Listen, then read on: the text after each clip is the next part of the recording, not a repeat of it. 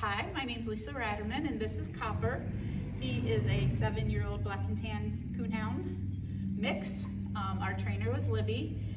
And Copper is uh, one of the older dogs to get trained. Um, he was a rescue dog and had some problems with leash aggression and other dogs. Um, he's got a sweetheart, but just I couldn't take him for walks without him going after other dogs and he was very stubborn, would not come, uh, would not listen, and I am just amazed in two weeks how he is doing all the commands I'm asking him to do. He seems happy and well adjusted, and I can't wait to get him home and take him for a walk with our new puppy, and he'll be teaching her how to behave, I'm sure.